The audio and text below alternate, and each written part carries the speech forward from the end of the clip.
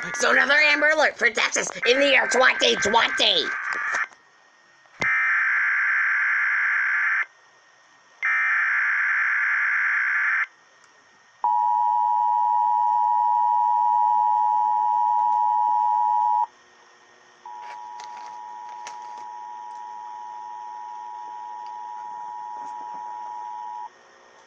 The Beeville Police Department is searching for Jeremiah Thomas, black male, 9 years old, date of birth January 11th, 2011, 4 feet 6 inches, 65 pounds, black hair, brown eyes.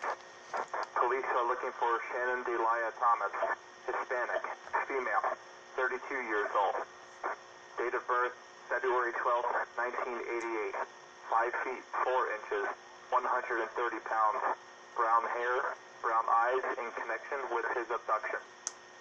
The suspect is driving a stolen green 2014 Chevrolet Sonic with a Texas license plate number of GCW59660. The suspect was last heard from in Beeville, Texas. Law enforcement officials believe this child to be in grave or immediate danger. If you have any information regarding this abduction, call the Beeville Police Department. News media point of contact is Beeville Police Department at 361 3588 100. End of message.